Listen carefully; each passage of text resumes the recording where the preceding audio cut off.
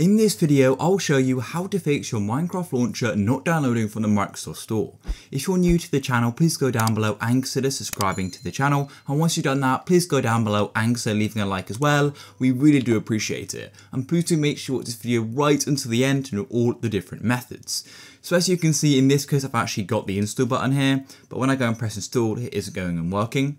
Um, but you also may have the issue of the install button not even appearing here.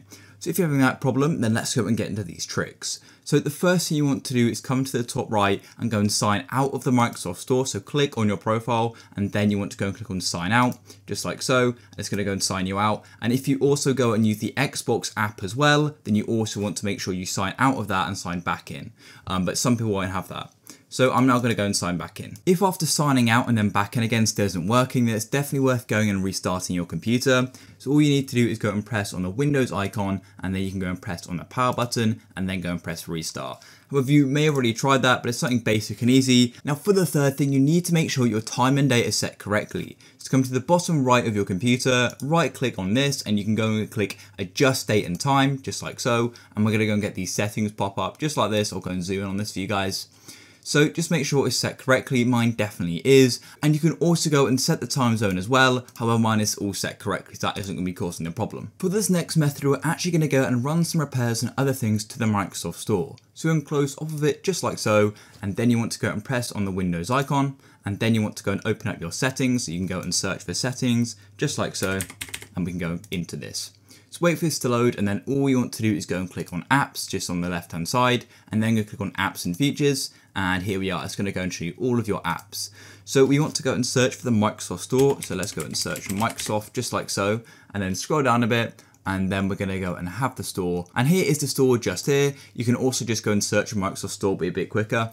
Then go and click on the three dots on the right hand side and you want to go and click on advanced options just like so and it's going to go and take us to our advanced options.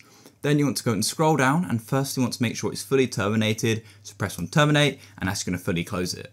Then you want to firstly go and try repairing it. So go and click on repair and it's going to go and run this thing across here. It's going to do some tests and just try and repair it basically. As you can see, the app data won't be affected.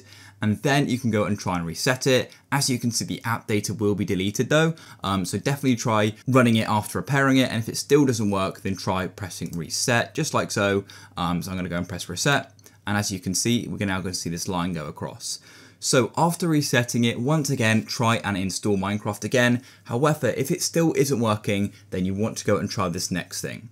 So come and close off of our settings just like so and you want to come to the search feature and you want to go and search something called PowerShell. So go and search for PowerShell just like so. And what's really important is that you go and right click on Windows PowerShell and go and click run as administrator. You may then have to do a Windows security pop-up where you get one um, and then you have to go and agree to that. And then you need to go into the description of this video and go and copy um, a piece of a command basically. I'll make sure it's labeled clearly and then you're going to go and paste it in. It looks something like this and then go and press enter then it's going to go and take a moment and what this is going to go and do is it's going to go and fully reinstall the Windows Store. As you can see it's now finished as I can now type another command in.